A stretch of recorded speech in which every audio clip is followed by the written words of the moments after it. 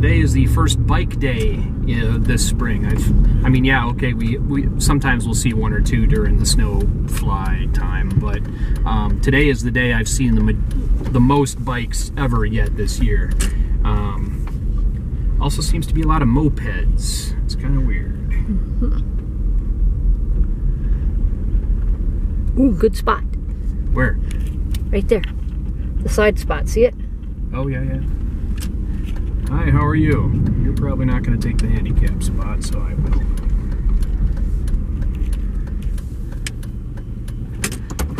Okay, that is that. Let's go. All right, Bob, I couldn't resist.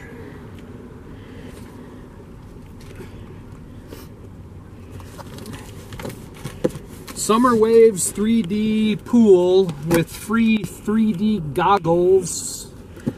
Um, it's long enough for me to lay down in, and so uh, I think this is probably my summer vacation. And the fourth thing that I've learned doing 15 days of vlogging is simple consistency.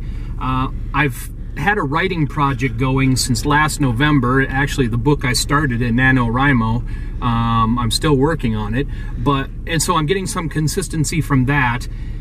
But the vlogging project for this past 15 days has taught me that it, or has reinforced or brought that idea home. I need to put something out every day.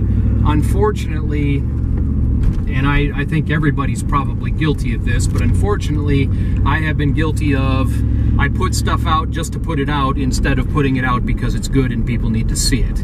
Not all the time, but I have done that a couple of times. So there's there's pros and cons on the whole consistency thing. Okay, one more, then we're done. I have learned incremental changes. I am one of those people who is prone to say, well, if I don't do it all right the first time and it's perfect, then I'm just not going to do it.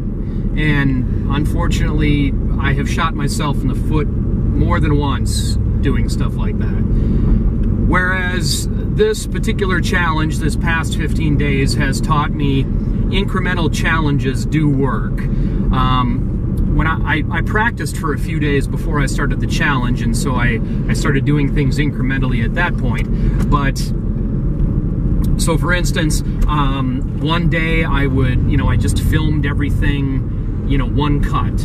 And then the next day I kind of broke it up into multiple cuts and some jump cuts so that it, it, uh, it flowed a little bit better. And then the next day I put in the titles that you see at the front of the video that have my name and the SSS Veda Challenge in Duluth, Minnesota, blah, blah, blah. And then the day after that, I put up some channel art. And the day after that, uh, I started implementing the, the cool, funny little clips at the start of my video, you know, the 15 to 45 seconds of something funny, which I'm sorry has not been very funny recently. But nonetheless, I'm I'm trying to get a structure and I'm trying to get uh, I'm trying to get a, a standardized I don't want to say a standardized plan because that sounds really boring, but I'm trying to make incremental changes that then therefore stick so that my videos are better and better. Uh, something I've been experimenting with the past few days has been Facebook. Uh, I, I, put up a couple of full videos to Facebook, and that takes like an hour to upload. Then I found an app that'll do it for me pretty quickly. But then um, Amy Schmittauer from Savvy Sexy Social uh, gave me a really super good idea. Just put up, just find the 15 seconds of the the uh, the coolest 15 seconds of your of your of your daily vlog and then just put that up as a teaser with a link back to YouTube. That's a much smarter idea because then I'm getting the YouTube views instead of you know, the Facebook views, which don't matter. And I'm I'm getting people to come back over to YouTube and, and subscribe there. So all of these are incremental changes that I think are making me better and better every time. And that is a, a pretty powerful lesson, actually. Okay, Bob, that about wraps up my day. Uh, if you liked today's vlog, uh, please give it a thumbs up.